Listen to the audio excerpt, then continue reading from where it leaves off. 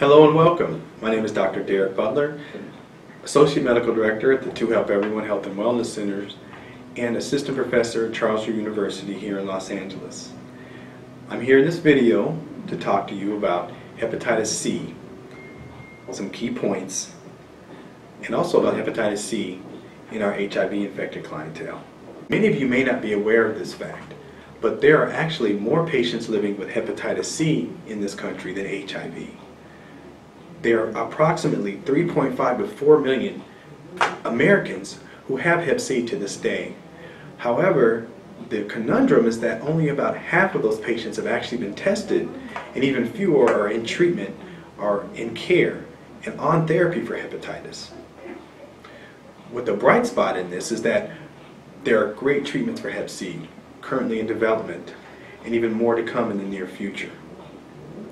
With these facts in mind, the CDC has actually made new recommendations regarding screening for hepatitis C to increase those numbers, to increase the numbers to people screened to at least 100%.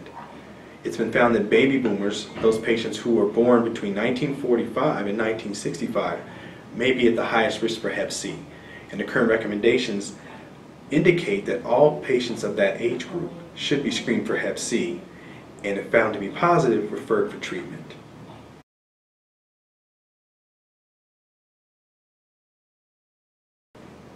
So what exactly is hepatitis C? Um, hepatitis C is a virus um, that infects the liver, and specifically the liver cell. And by doing so, it actually can cause what we call liver fibrosis, which are the first stages of cirrhosis of the liver.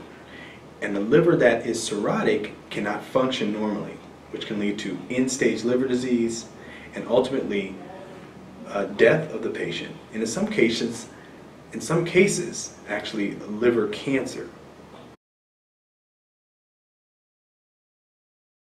Hep C is transmitted similar to HIV and other viral hepatitis, such as hepatitis B. Hep C is transmitted through, uh, through blood and body fluids.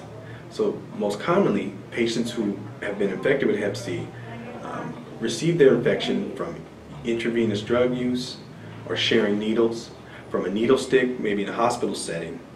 Many patients received Hep C from a blood transfusion, which happened typically in the early 80s um, or early 90s before the blood supply was screened for hepatitis C. And a small percentage of patients have, have received Hep C from sexual contact. You cannot get Hep C from casual contact, such as kissing, um, hugging, sharing food or drink from a toilet seat, or, or, or, or any basic contact without the uh, presence of blood. The good news with Hep C infection is that approximately 20% of people with hepatitis C actually clear the infection initially. Their body's immune system actually takes care of the virus and clears the virus on its own. The other 80% develop what's called chronic hepatitis. And the danger in this group is that approximately 10 to 25% of those clients will actually develop cirrhosis of the liver. And another 5% of those clients will actually develop liver cancer or hepatocellular carcinoma. This process can take anywhere from 10 to 20 years. So many patients living with Hep C don't feel ill and their livers actually are, are, are actually still maintaining function, but some may actually be developing cirrhosis slowly. And this is the case for why we're screening patients for Hep C to prevent that severe liver disease.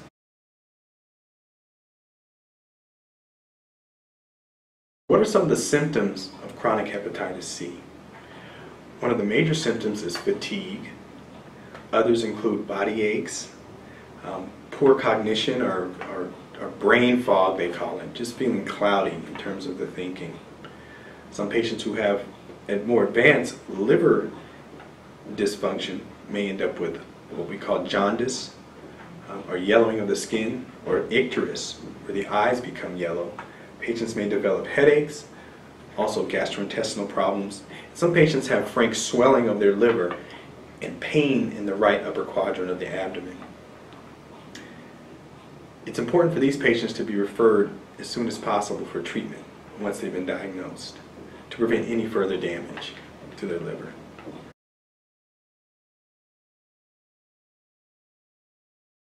You've tested a person for hepatitis C, it's important now to consider certain important laboratory tests. Um, one of those is the hepatitis C viral load, which is similar to what we do in terms of testing for HIV, because it's important to see that there is actually virus still present in the body uh, for the patient, and at what level of hep C, what level of the hep C virus is existing in the patient currently. The other important test is what's called the genotype. And hep C comes in several different genotypes. Those that are important in our country are genotypes 1 through 4. There are actually six genotypes that are known, but the first four are those that actually are found presently in the United States in any significant number.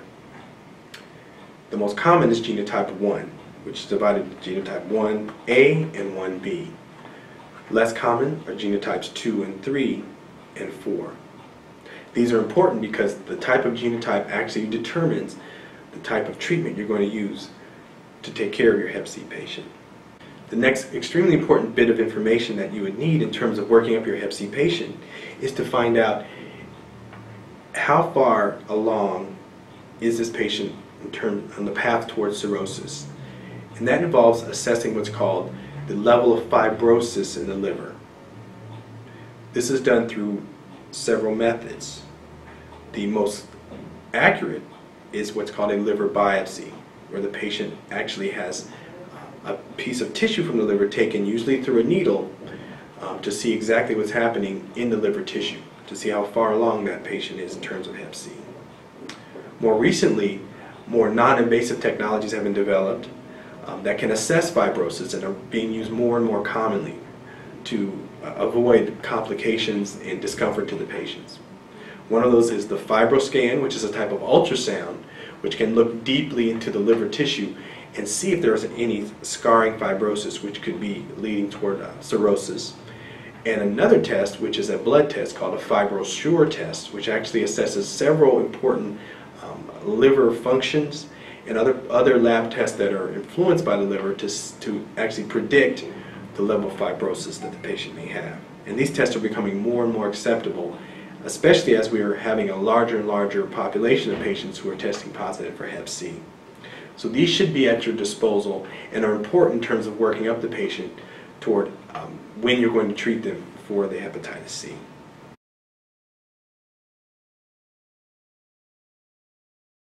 In addition to your monitoring for laboratory or imaging or even a biopsy for the patient, it's important to assess other factors in terms of their treatment.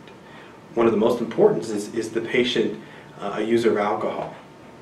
It's recommended that any patient with active hepatitis C, which you've determined by doing the genotype to look for virus, that any patient who's, who uses alcohol should stop um, alcohol um, intake, primarily because of the dual effect of, that alcohol has on the liver which may be um, enhancing or making worse the, the effect of the hepatitis C virus on the liver itself. Also, you need to assess the general health of the patient. Does this patient have other comorbidities, such as kidney disease, diabetes, HIV, or some other type of uh, illness that may influence their success or may influence the pathophysiology or the course of their hepatitis C infection. It's important also to assess in the patients any other substance abuse issues they may have. The patient uses injection drugs um, such as heroin, uh, methamphetamine, uh, cocaine, which also could interfere with liver function and also their treatment success.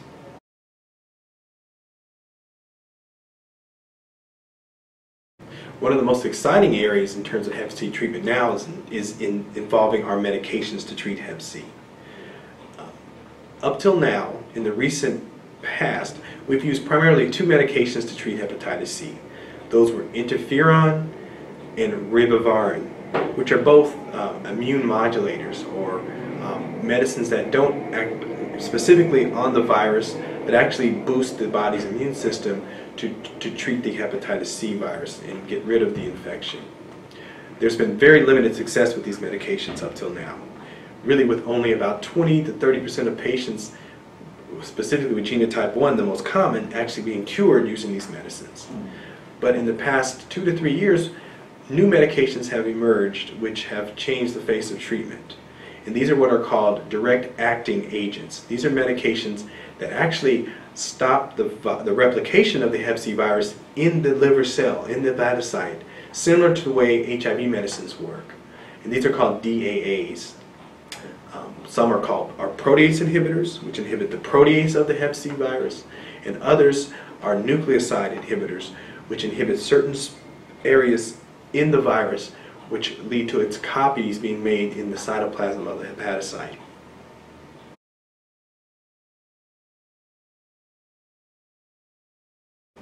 The new medicines to treat hepatitis C have been remarkable, and remarkable in the fact that they cure hepatitis C.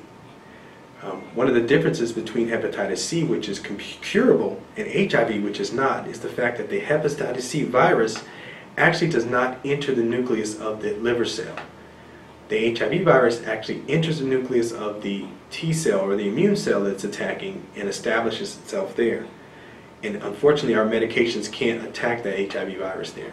But Hep C, its virus remains out in the cytoplasm of the liver cell, where the medications which are targeting its replicative process can stop its replication and actually clear all the virus out of the body.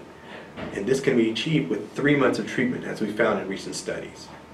So we're going to talk about the newest Hep C drugs that have been approved for treatment and those treatment regimens which can cure our patients for Hep C really in a remarkable fashion, better than we ever have been able to in the past. Currently, there are seven medications which are approved for the treatment of hepatitis C by the FDA. But again, more to come, many more to come in the near future, but currently seven. And those are PEG interferon, ribavirin, which are both immune modulators, and then direct acting agents, two of which are protease inhibitors, one called boceprevir, another um, telaprevir, and also now three other direct acting agents which are nucleosides, sofosbuvir, simeprevir, and ledipasvir. The standard treatment for Hep C involves using these drugs in combination. And what's remarkable is that now cure rates for hepatitis C using these combinations of medicines are approaching 90 to 95% in most patients, including all genotypes. This is remarkable considering that in years past, achieving 30% cure was considered the best we could do. The treatment choice depends on genotype. The newest medication is a combination of sofosbuvir and ledipasvir, which is presented as a one pill once a day option to treat patients with genotype 1. Typically those who are naive, um, without cirrhosis, um, and without evidence of more advanced liver disease. A listing of all of these combinations and indications for treatment are available in our resource section, which you will see at the bottom of the video and also at the end of our presentation.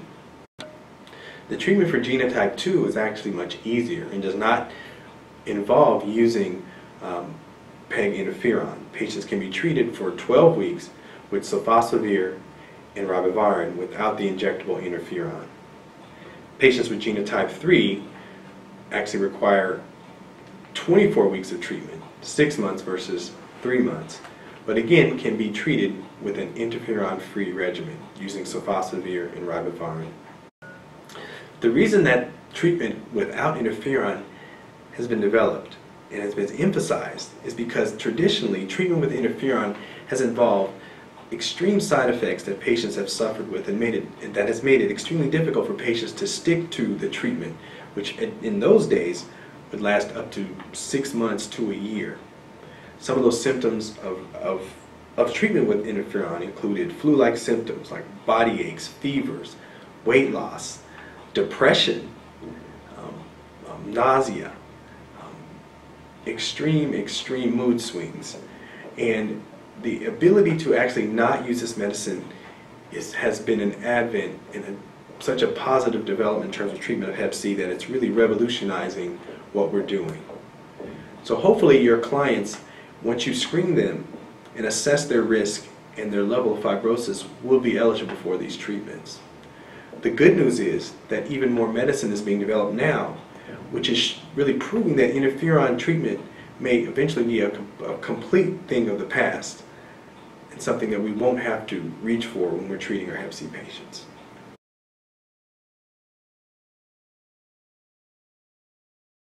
Now, in terms of treating our patients who are co-infected with hepatitis C and HIV, it is important to add a few caveats. Patients who have both infections should understand that they are at risk for progression really in a negative manner from both diseases. So what this means is that patients who have HIV and hepatitis C can see a worsening of both of those conditions if either one is not treated. So the standard of care now is that patients with HIV who have Hep C should have their HIV treated first because you really would like to boost their immune system that's going to assist in treating the Hep C and keep that as well as possible. So try to achieve an undetectable viral load for HIV first. Raise the T cells to a level higher than 200. And then attempt to treat the hepatitis C.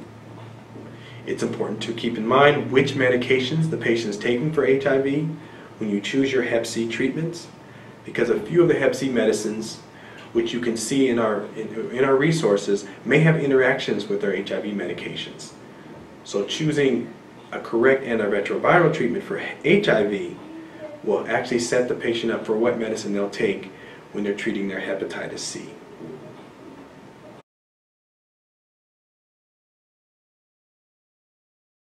A few other key points um, that I think should be emphasized in terms of treating your Hep C patients is to make sure that they are also vaccinated against hepatitis A and hepatitis B. This is really important as you would not like for that patient to receive a second uh, type of viral hepatitis on top of their Hep C infection. I can't emphasize enough the again the encouraging our patients to stop uh, alcohol abuse if they are drinkers and when they have Hep C. Studies have shown that patients who are who abuse alcohol have much higher rates of cirrhosis than those who don't. And to achieve um, high rates of treatment success, it's important for patients to remain abstinent during that period. The last is that understanding that patients can be cured of Hep C, but they are also always at risk for reinfection with Hep C. So it's important to assess what behaviors led to them um, actually becoming Hep C positive, maybe from uh, intravenous drug use or from unprotected sex, and for that patient to understand that that once they're cured from it, at this point, it doesn't make them immune to it, and that they can also be reinfected with hepatitis C, and to encourage them to um, take preventative measures if they can to prevent reinfection. And lastly, for those of us treating both HIV and hepatitis C co-infected patients, understand that liver disease is the second leading cause of death in our HIV patients, and that all our HIV patients should be screened for Hep C, and hopefully treated as soon as poss- as physically possible. Once you stage them, have them on antiretroviral therapy and control, um, then Hep C treatment should be done as soon as possible. We're in an era now of excellent, excellent treatment for hepatitis C, um, which was on, up until recently a very difficult disease to treat. Um, and the future looks bright, and we possibly could see, could possibly could see an end to Hep C in the near future with the type of medicines that are coming out. So I do hope you've enjoyed this video. I hope this information has been useful, and hope that it encourages you to research further and feel more comfortable in addressing hepatitis C in your populations. Please see our resources for more detailed information. And once again, thank you for considering um, treating your Hep C patients. Thank you.